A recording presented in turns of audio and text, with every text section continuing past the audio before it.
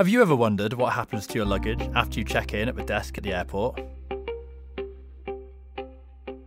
Well, to find out, I spent a day with British Airways baggage staff at London Heathrow, UK's busiest airport, to get a sneak peek behind the scenes. First, I had to learn how to lift without hurting myself. Apparently, it's a lot like dancing.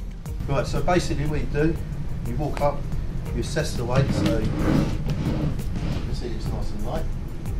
Foot facing forward, use the pivot point, pick it up. And The important thing is to use your feet. It's like strictly, strictly come dancing, yeah, you move around. There, when you get back, foot facing forward, okay, draw it back onto the belt. Easy peasy. And now it's time to get to grips with the bags. After your bag is checked in, it travels through a belt system before arriving here. You can scan the bag this time, just basically press the yellow button. Yes. Okay. Baggage workers use an array of different technology to make their jobs easier and prevent back injuries. This nifty little device here is known as a pizza cutter. It helps take the load off the bags so staff don't injure their backs. Ah! Running away. All bags must be scanned to ensure that they're going to the right destination.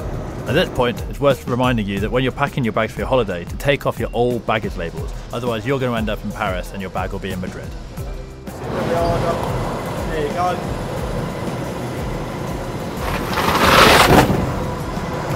That tick means that the batch is finished. So move it along until it stops.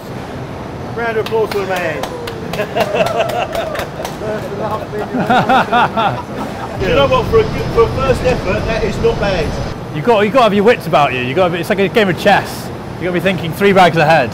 These are the two different methods that baggage handlers use to load a crate, and now they're ready for the plane.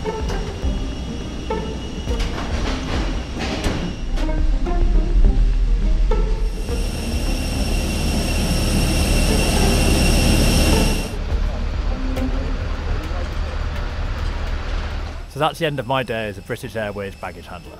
Turns out it's not just a physical job, but a mental job, like a cross between chess and Tetris. So now you know what happens to your bag when you drop it off at the airport. You never know, it might have been me who packed it.